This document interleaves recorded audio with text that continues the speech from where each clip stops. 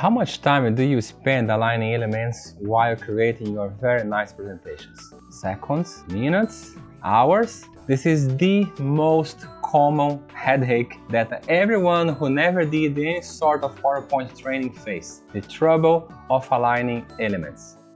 Hello professionals, welcome back to another class to improve your capability to align elements efficiently in PowerPoint. Aligning elements is what differs great presentations to, you know, regular ones. In what determine how fast you can create a great content. If you never heard about this, you are certainly delivering results that could most likely be better produced. the professionals that know how to use Ctrl, Shift and Alt, they dominate not only PowerPoint, but several other tools in Office and outside it. Dominating the usage of these keys are a game changer towards making you an efficient professional and that is what you will learn in this very video here. Towards the end, you will see a bonus that I have prepared for you that you will love it. So guys, let's cut the story and jump into it. Let's start seeing these commands in action. But before it, remember, if you like this content, please consider subscribing. This is what keeps any YouTube channel alive. It's just as important as like. I'm counting on you, man. So guys, today let's talk about a professional alignment and I will start with one challenge. Let's see the screen. Look at this.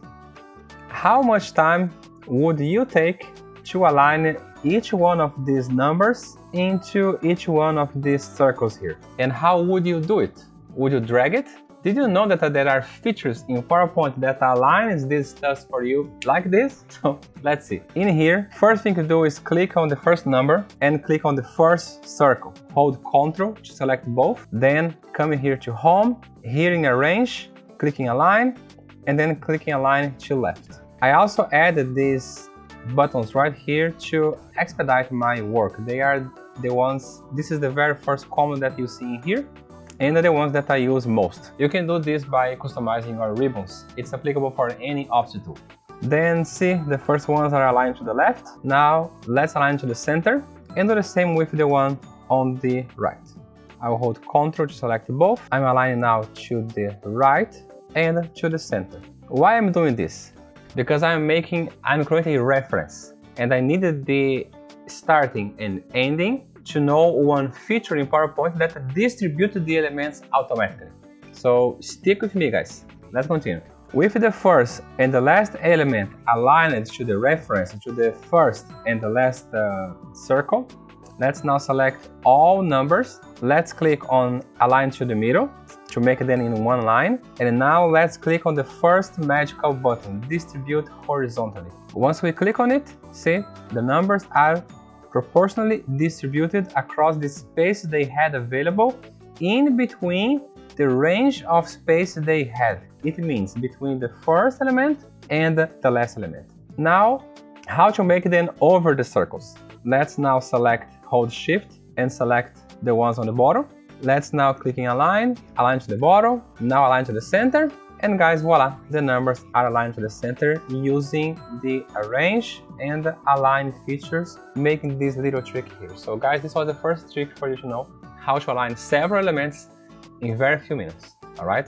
Moving on to the next one, this is about uh, aligning and uh, dragging. So what I will do, how did I create these, these icons here? I will select the first group just to save me time I'll go to the next one, which is empty, paste it here just as it is, assuming that you already created your format for your first object. Remember, when you are creating several objects, one just like another, create the very first model, because you're going to replicate this towards the other one you have, alright? With the first model created, select all of them, just dragging around, hold Ctrl and Shift, then drag right, see?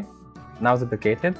I will keep holding Ctrl and Shift, See how PowerPoint is helping me with these guides. So PowerPoint is already suggesting me that I should release my mouse right here because I would keep the same spacing between one and another. Very nice by PowerPoint, right? This is called grid.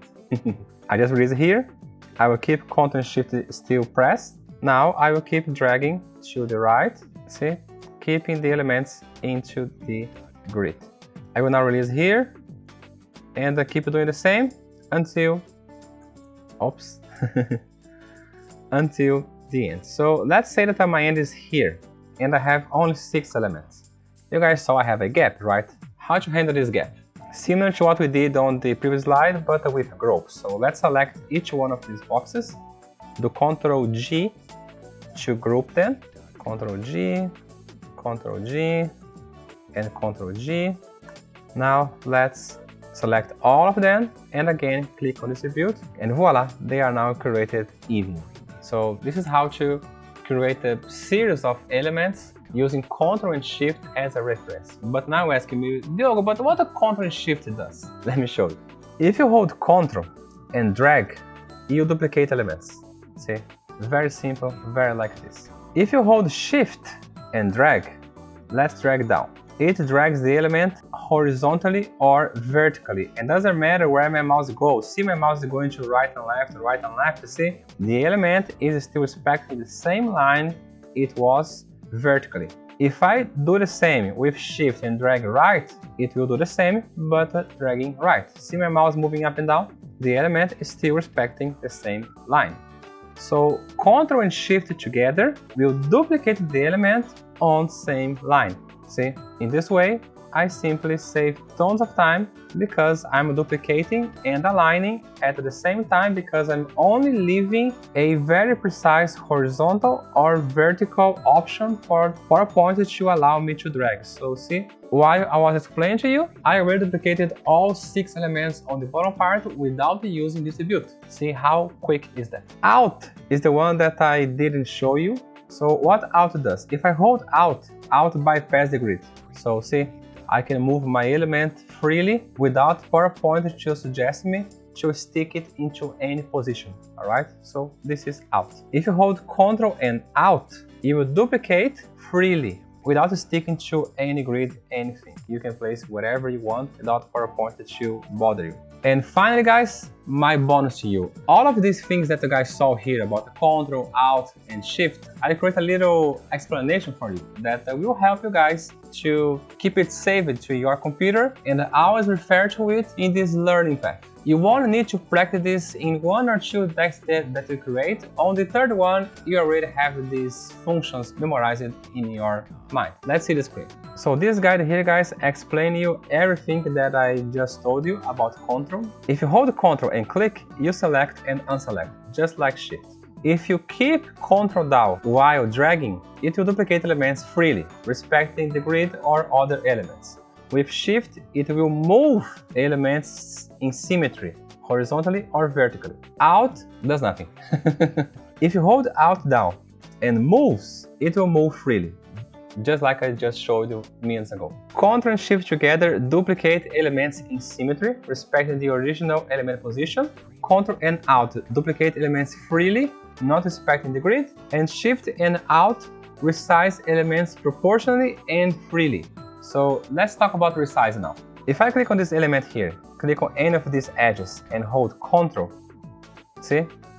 It will drag towards the edges of, of the element, all edges, but freely. If I hold Alt and click here, it will just drag towards the edge that I'm dragging, as well as freely. If I hold Shift and click here, it will enhance the element proportionally towards the edge that I'm dragging regardless of where is my mouse. If I hold Ctrl and Shift and drag, it enhance it increases the element area proportionally towards the edge of the element, you know, towards the center, you know, from the center to the edges, all right? And if I hold Ctrl and Alt, guys, it pretty much does nothing. does the same as Alt, all right? How about now, folks? How do you feel? Starting counting how many hours of work you have lost dragging things on the slide and at the end they are still not perfect, not in symmetry aligned. I know it's frustrated, but now think about the bright side. Now on, all your presentations will be professionally aligned and not only that, will be created very quickly, a lot faster than before. Again folks, if you like this content, please consider subscribing and liking. It's your help to me in keeping creating contents just like this very one here that you just saw. Thank you so much for watching. See you on next week.